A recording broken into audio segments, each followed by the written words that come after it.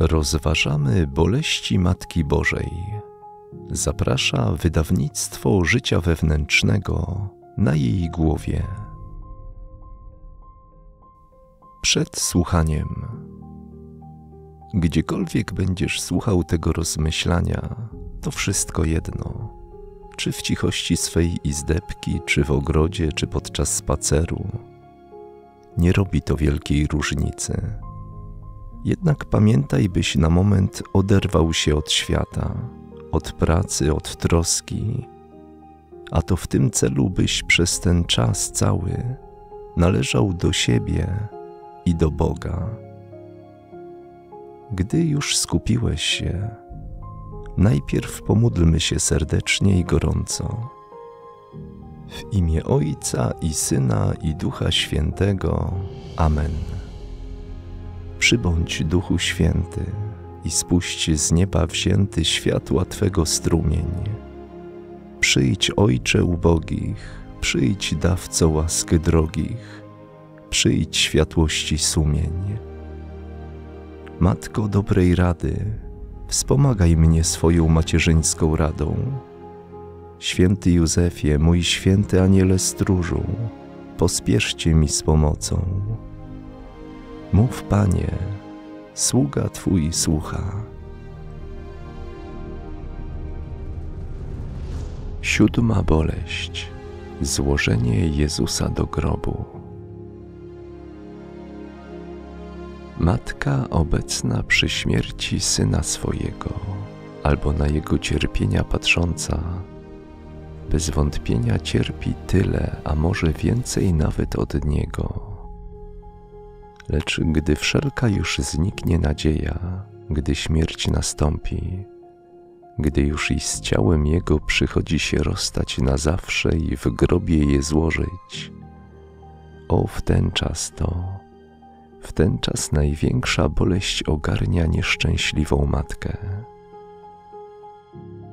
I ten to właśnie był siódmy i ostatni miecz boleści przeszywający serce Maryi nad którym teraz uwagę naszą zatrzymamy.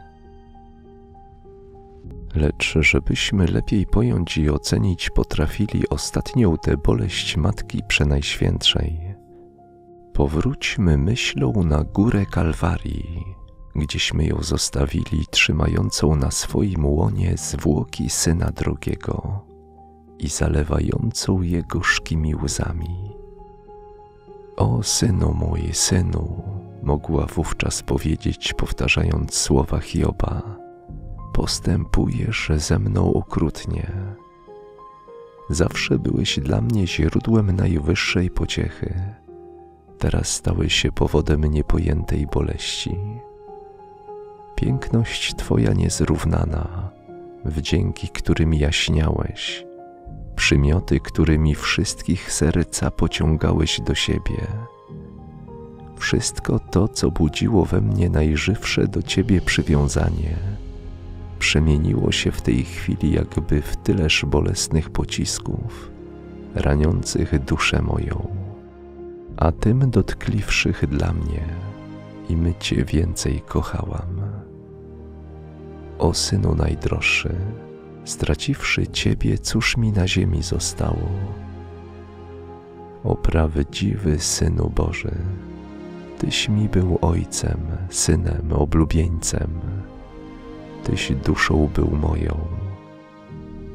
Teraz osieracasz mnie z ojca, owdawiasz po oblubieńcu, zasmucasz stratą jedynego dziecka. Syna tylko tracąc, wszystko straciłam. Tak Maryja w najwyższej pogrążona boleści płakała nad ciałem Jezusa, trzymając je na ręku. Lecz obecni tam uczniowie pańscy, obawiając się, aby tak wielka boleść o śmierć ją nie przyprawiła, pospieszyli z przygotowaniami pogrzebu, aby niezwłocznie ciało przenajświętsze pochować. Siłą prawie wydarli je z objęć matczynych nabalsamowali i owinęli w prześcieradło, na którym Zbawiciel raczył zostawić wizerunek twarzy swojej. Lecz gdy je już do grobu nieśli na własnych rękach, aniołowie z nieba stąpili, aby im towarzyszyć, a za nimi postępowały święte niewiasty, otaczając Maryję. Gdy Matka Przenajświętsza przybyła na miejsce, gdzie już złożyć miano w grobie zwłoki Zbawiciela, o z jakąż radością byłaby razem z nim wstąpiła do grobu, byle się z synem ani na chwilę nie rozłączać. Lecz nie taka była wola Boża. Samo tylko ciało włożono do grobu, kładąc tam także, jak to utrzymuje baroniusz, gwoździe i koronę cierniową. Gdy otwór zawalić już miano kamieniem grobowym, nadeszła chwila, w której Maryja rozłączając się z Jezusem, ostatnie już spojrzenie na Niego zwrócić jeszcze mogła. A więc musiała w ten czas zawołać: Synu mój, już Ciebie oglądać więcej nie będę. Synu, jedyna miłości moja, składając Cię w grobie, składam tam i serce moje. Maryja pragnęła koniecznie, mówi święty Fulgenty, pogrzebana być razem z Jezusem.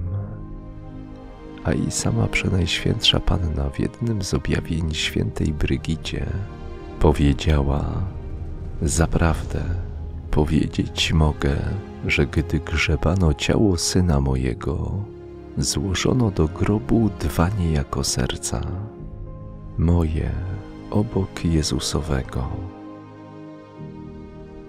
Na koniec podnieśli kamień uczniowie i zawarli w grobowcu ciało Jezusowe, ten skarb nad skarbami na ziemi i w niebie najdroższy.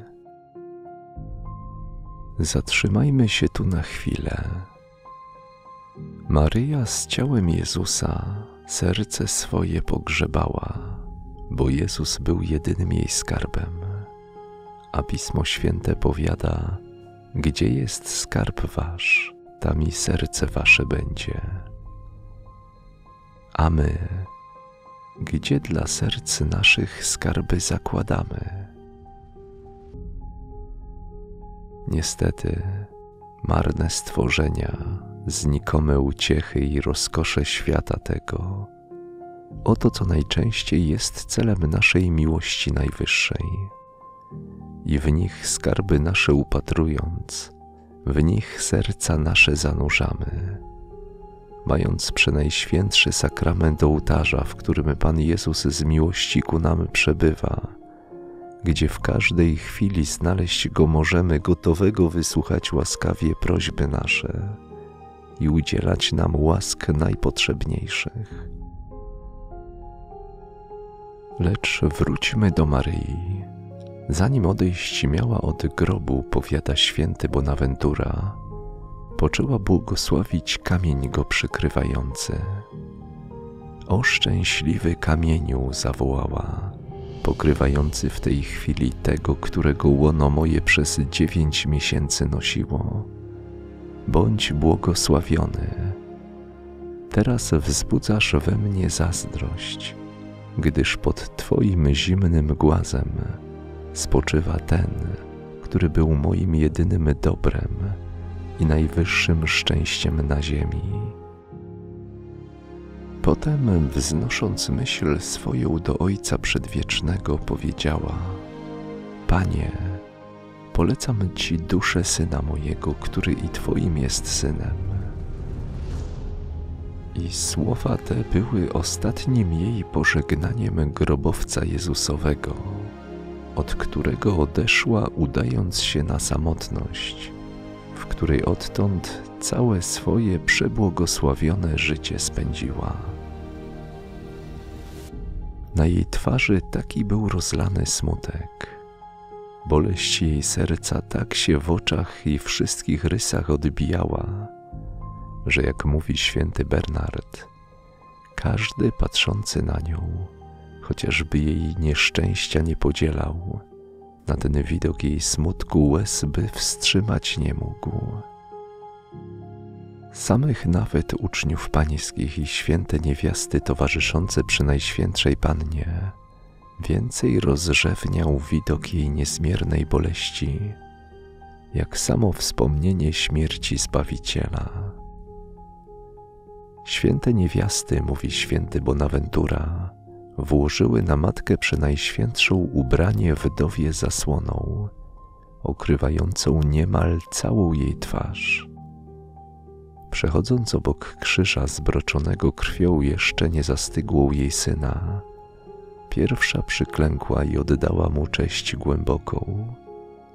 O krzyżu święty powiedziała: Kłaniam się Tobie i cześć Ci oddaję, boś Ty już przestał być hańbiącym rusztowaniem, a stałeś się tronem największej miłości Boga ku ludziom, ołtarzem miłosierdzia, krwią baranka Bożego poświęconym. Schodzi na koniec Maryja z Kalwarii i przybywa do swego mieszkania, gdzie na próżno serce jej i oczy szukają Jezusa. Co krok napotyka tam tylko przedmioty przypominające jej syna. I ostatnie chwile w tym miejscu z nim spędzone przed śmiercią stają jej w ten czas na pamięci, żywiej jak kiedykolwiek i pieszczoty z ukochanym dziecięciem, gdy je jeszcze w żłóbku betlejemskim pielęgnowała, i pobyt ich w Nazarecie, i te różne ciągłe dowody przywiązania Jezusa do matki, i te czułe, a pełne miłości synowskie spojrzenia Jego, i te słowa mądrości Bożej pełne z Bożych ust Zbawiciela od najmłodszych lat wychodzące. Potem znowu przypomina sobie wszystkie okoliczności bolesnej męki i okrutnej śmierci Jezusa, na którą dopiero co patrzała. Zdaje się jej, że widzi przed sobą i gwoździe, i koronę cierniową, i włócznie, że obok niej leży pokrwawione, skatowane i zlodowaciałe ciało jej syna ze świeżymi ranami i obnażonymi biczowaniem kośćmi, z ustami rozwartymi i zastygłymi oczyma. Niestety, o cóż to za noc bolesną spędziła wówczas Matka Przenajświętsza? Gdzie wasz mistrz? Pytała świętego Jana i świętą Magdalenę. Moi drodzy, gdzie syn mój? Gdzie Jezus? Gdzie nasza miłość i pociecha jedyna? O mój Boże, któż go nam zabrał? I płacze Maryja i łez utulić nie może, i wszyscy z nią będący płaczą i smutek podzielają. A ty, duszo moja, czyż z nimi nie zapłaczesz? Czyż Jezusa nie kochasz? Czy Maryi boleść cię nie porusza? Do niej, do niej uciekaj się, duszo moja, i mów ze świętym Bonaventurą. O Pani i Matko moja, spraw, abym z Tobą zapłakał, a za grzechy moje będące powodem i śmierci Syna Twojego i Twoich boleści, szczerze żałował. Ty łzy wylewasz z miłości i żalu za synem Twoim. Dajże wylać oczom moim łzy skruchy, którymi bym zmazał winy moje. O Pani i Matko moja, jeślim Cię obraził, więc przez sprawiedliwość proszę, przeszyj serce moje współubolewaniem nad boleściami Twoimi. Jeślim Ci służył wiernie, więc jako zapłaty domagam się tej rany. O biada mi, biada, gdym widząc zbawcę mojego poranionego i Ciebie z przeszytym sercem mieczem boleści także zranioną, sam nie odniósł stąd rany na sercu. Przykład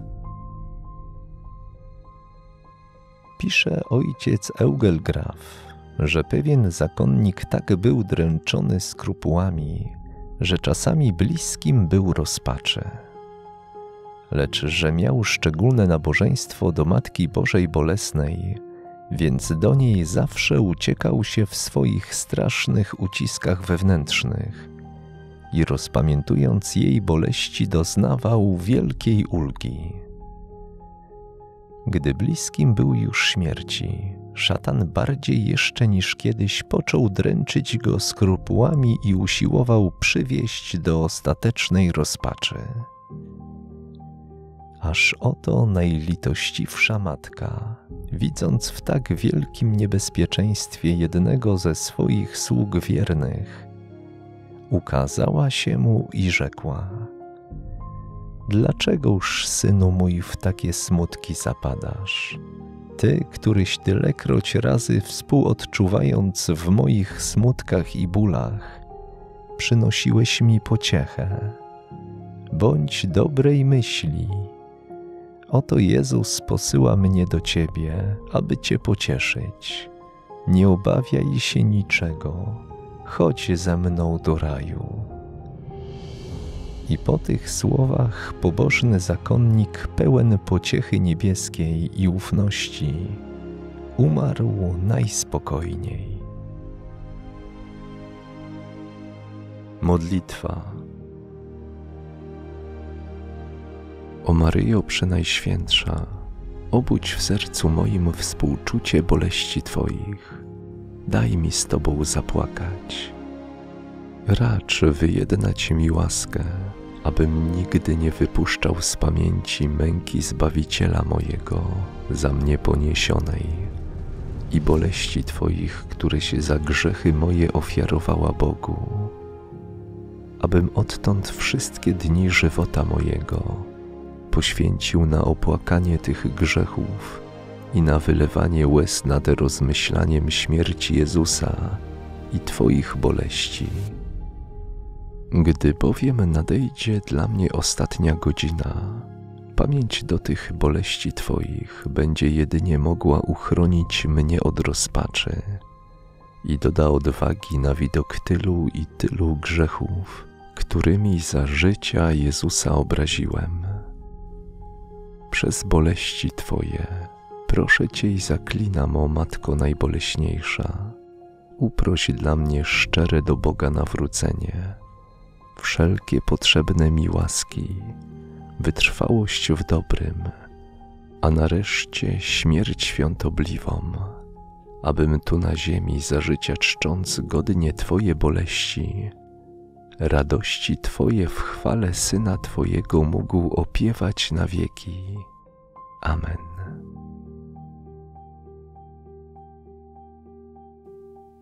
A teraz zastanów się przez kilka chwil nad tym, czego wysłuchałeś. Pytaj siebie samego, w jaki sposób chcesz i możesz z tego skorzystać. Boże w Trójcy Świętej Jedyny, teraz znów przemówiłeś do mnie. Dzięki Ci składam za wszystkie dobre myśli i poruszenia. Tak jak dałeś mi pragnienie, tak daj też wykonanie dopomóż mi, bym stał się katolikiem z czynu. Wszystko dla Ciebie i zbawienia duszy mojej. Jezu, Maryjo, Józefie święty, oświecajcie nas, wspomagajcie nam i ratujcie nas. Amen.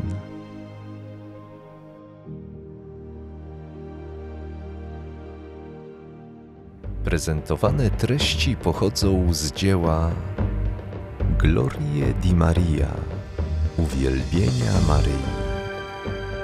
Książkę lub audiobook nabędziesz w księgarni na jej głowie.pl